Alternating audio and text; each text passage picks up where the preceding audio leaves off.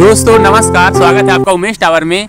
देखिए, जिस प्रकार घर को, घर की सजावट के लिए जैसे अच्छे से अच्छा पुताई कराते हैं, पेंट कराते हैं, ठीक वैसे ही अगर आप और उसमें और चार चाँद लगाना चाहते हैं तो आप जो है फूल हो गया और जो अच्छे, जो अशोक वाले ये फूल वैरायटी हैं, इनको अगर आप घर पर रखेंगे अपना, और ज़्यादा जो है घर जो है अच्छा सुंदर जो है दिखने लग जाता है।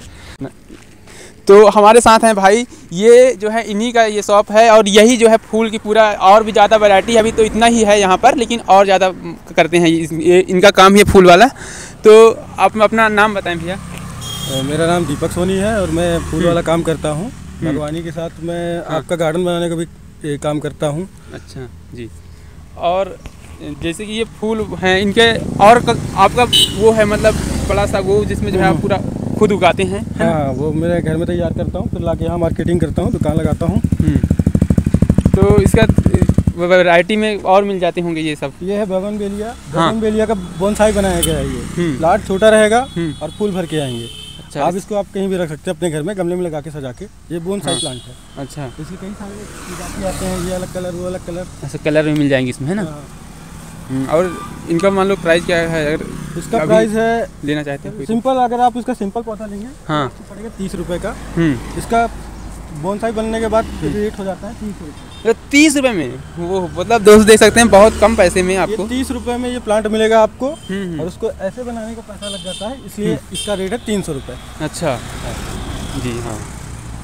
और इन सबका तीन सौ रुपये है ना? हाँ तीन सौ रुपये अच्छा। और ये गुलाब के? गुलाब मेरे पास चार वैरायटी के हैं। हम्म कौन कौन एक तो है फ्लोरी बांडा हाँ। और ये लंबी डंडी वाली है हाइब्रिड टी। हाँ हाइब्रिड और ये है बटन रोज जो गुच्छे में फूल आती है ये छोटे छोटे गुच्छे में फूल आते हैं इनके? हाँ। अच्छा। और ये है काश्मीरी गुलाब। तो काश्मीरी गुलाब आज मेरे पास एक ही बचा है बाकी सब बाकी हाँ। सारे बिक गए। हाँ। है। अच्छा। यही गुलाब की प्रजाति में मेरे पास। हाँ, अच्छा। इनका गुलाब गुलाब में जैसे अलग अलग वैरायटी वैसे अलग अलग इसका प्राइस भी है? हाँ अलग अलग प्राइस है इनका।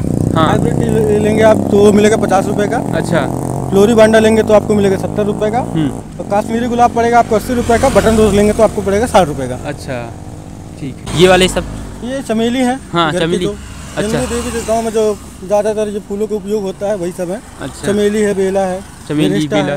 है। हाँ ये है लतर वाला प्लांट इसको अगर आप लगा देते हैं घर के बगल बगल तो ये दीवार में चढ़ता है पूरा झूल झूल के फूलता है। अच्छा। लसुनिया ये तीन सीज़न में ये साल में तीन बार फूलता है बैगनी कलर का। अच्छा बैगनी क्या कहते हैं हाँ मतलब झाड़ टाइप का हो जाया करता है जैसे कुछ बना दिया। कलर का अच्छा हाँ और ये क्या है भाई? ये नरगिस है नरगिस। नरगिस फूल है? हाँ। अच्छा। हाँ भैया है ना? पचास में तीन तो नहीं है भैया। पचास में एक तो है। ऐसे ना नहीं तुम ना मेरा काट दूँगे।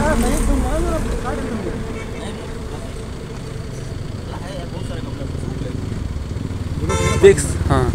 देख सकते हैं दोस्तों हर प्रकार के मतलब कि लोग होते हैं और अपने घर को अट्रैक्टिव दिखाने के लिए बनाने के लिए। अलग अलग प्रकार के गमला हो गया फूल हो गया ये सब शौकीन मतलब होते हैं जो अपने घर को अच्छा से अच्छा बनाने की पूरी कोशिश करते हैं।